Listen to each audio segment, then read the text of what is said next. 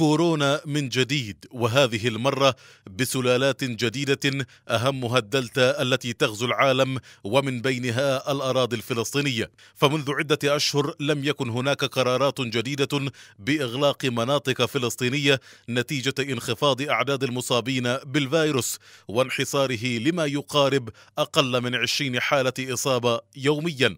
لكن ناقوس الخطر بدأ من جديد حيث تم تسجيل ما يقارب 49 حالة بالطفرة الهندية المتحورة الأمر الذي دفع محافظ جنين إلى إغلاق قرية عانين في المحافظة التي سجلت إصابات كثيرة بالفيروس هذا. ولا يختلف الأمر عن دولة الاحتلال التي أعادت ما يسمى بكابينة كورونا إلى الواجهة من جديد وأرجعت بعض القيود حتى على متلقي اللقاح المضاد لفيروس كورونا.